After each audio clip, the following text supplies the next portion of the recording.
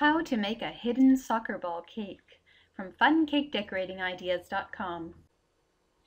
You start by putting your cake batter into a muffin tray.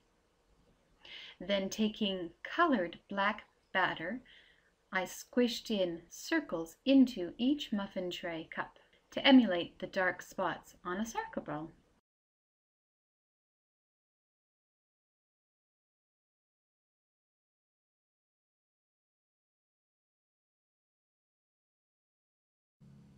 I bake these in the oven at 350 degrees Fahrenheit, 180 degrees Celsius, and let them cook for roughly 15 minutes.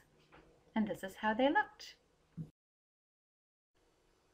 After letting the cupcakes cool for about an hour, I simply sliced off the bottom and the top to reveal the soccer ball within.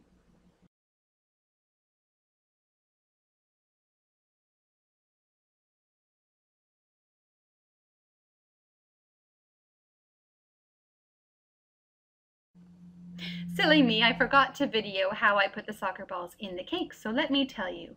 What I did is I made some batter green, and I placed a little bit of green batter on the bottom of a bread tin.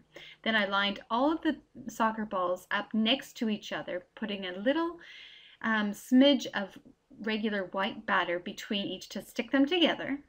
And then I poured the green batter all around it to emulate a soccer field.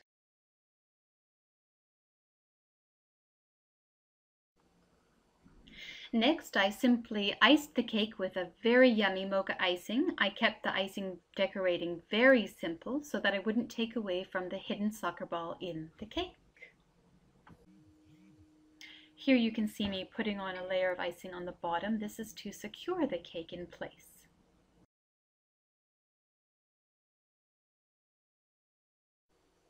I do this so that the cake won't move around when traveling with it. I covered the cake with a lovely thick layer of mocha icing because the person I've made this cake for loves mocha icing. Okay, to be honest, I love mocha icing and I was going to get to eat the cake. Yum! To give the cake just that little festive birthday look, I sprinkled it with sugar that I had colored pink. It also added a very yummy crunch to the top of the cake. Then I simply piped with the mocha icing happy birthday on top of the cake. Now I say simple, but I have to tell you, it is incredibly difficult to pipe icing on top of sugar. It keeps wanting to lift off, so I had to fight with it a little bit, but eventually I did get it to work for me. To finish it off, I simply lined the cake with some dark chocolate chips. The uh, chocolate and the mocha combination is absolutely delicious. All right, are you excited? Now for the fun part. Let's slice into the cake and see if we can find that soccer ball playing in a field of green. Yay! There it is, soccer ball on a green field. Awesome.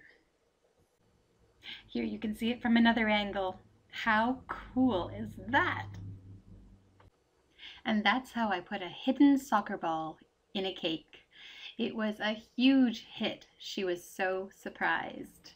All right, I hope you enjoyed this video. Please check out Fun Cake Decorating Ideas for more cake decorating videos and our Facebook page, Fun Cake Decorating Ideas, to enter contests. Talk to you later. Bye-bye.